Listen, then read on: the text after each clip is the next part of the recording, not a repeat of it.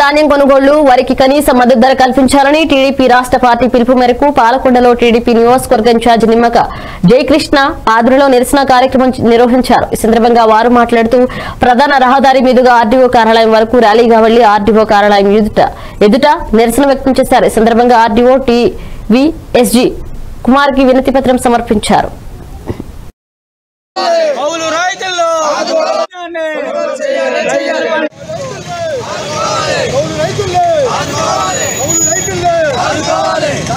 ధాన్యం రైతు బంధు ధాన్యాన్ని చేయాలి ధాన్యాన్ని కొనుగోలు చేయాలి.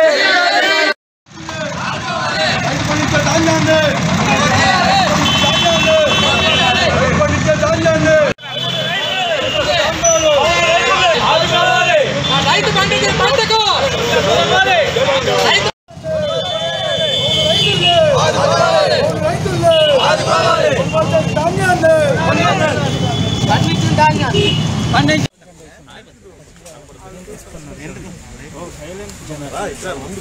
అందరికీ నమస్కారం. మరి ఓకే.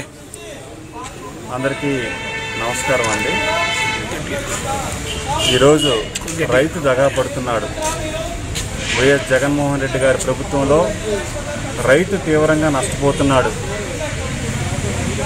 గతంలో రైతుకు మద్దతు ధర తెలుగుదేశం ప్రభుత్వంలో నారా చంద్రబాబు నాయుడు గారు రైతులకు ఏ విధంగా కష్టం రానియకుండా ఎటువంటి నష్టం కలగకుండా ఆ రోజు చంద్రబాబు నాయుడు గారు రైతులకి అన్ని విధాల చంద్రబాబు నాయుడు గారు ఆదుకున్నారు.